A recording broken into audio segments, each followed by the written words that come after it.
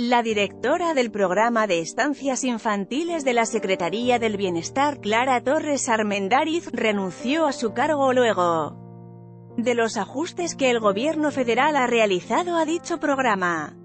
La ex candidata presidencial, Cecilia Soto, confirmó en su cuenta de Twitter la renuncia de Torres Armendariz, encargada de estancias infantiles hecho que describió como la primer renuncia de él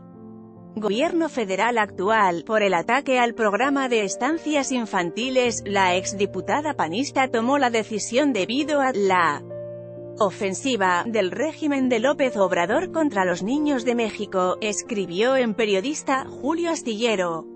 Desde 2007 y hasta 2018, el programa de estancias infantiles apoyaba a las madres trabajadoras con los servicios de cuidado y atención infantil de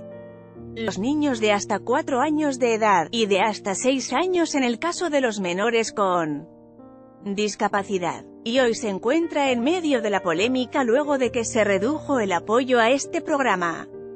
Pues de 900 pesos mensuales por niño, ahora será de 1.600 pesos bimestrales y serán entregados de manera directa